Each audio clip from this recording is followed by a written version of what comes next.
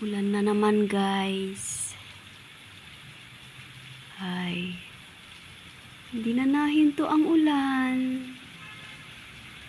Lagi na lang naulan.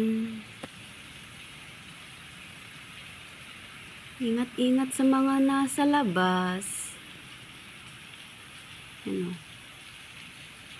Kasi ng ulan. Lakas kanina. Kaso lang hindi pwedeng mag-video dahil may may kulog. Yan, ingat po tayong lahat, everyone.